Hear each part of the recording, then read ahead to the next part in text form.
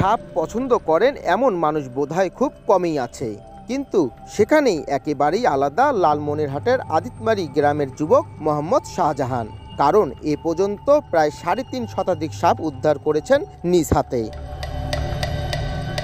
ছোটবেলাতে ডিসকভারি চ্যানেলে দেখতেন, লাঠি নিয়ে সাপ উদ্ধার। সে থেকেই তার ইচ্ছা তিনিও সাপ উদ্ধারকারী হবেন। জানা যায়, শাহজাহান প্রথমবার যখন সাপ উদ্ধার করেছে, তখন সে অষ্টম শ্রেণির ছাত্র।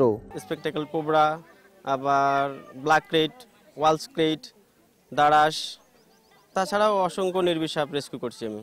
এলাকাবাসী সাপ দেখতে পেলে আমাকে ফোন করে, আমি যত দ্রুত সম্ভব সেখানে যাওয়ার চেষ্টা করি এবং সেটাকে রেস্কিউ করে, আশপাশে যদি কোনো লোকালয় না থাকে, সেটাকে জঙ্গল দেই। স্কুল জীবন থেকে স্নেক রেস্কিউ নিয়ে কাজ করছি।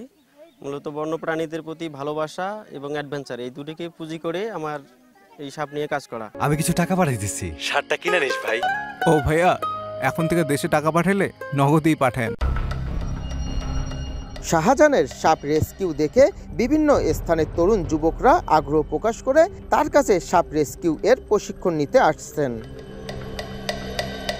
তাই দু হাজার বিশ সালে কয়েকজনের সম্মিলিত উদ্যোগে প্রতিষ্ঠা করা হয় wild life and snake rescue team in Bangladesh নামে একটি সংগঠন।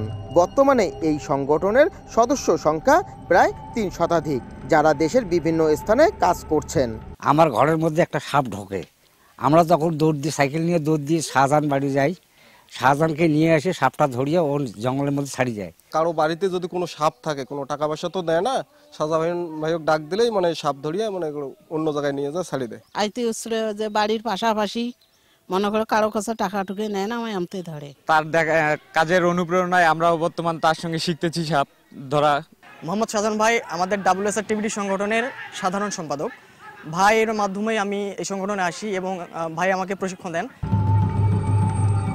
দু বিশ সালে বাংলাদেশে শাহজাহান প্রথম জীবিত লেসার ব্ল্যাক কেট রেস্কিউ করেন।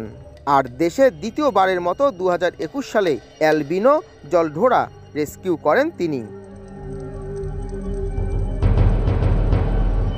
যে আই সমাপ্ত, সময় সংবাদ, লালমনিরহাট।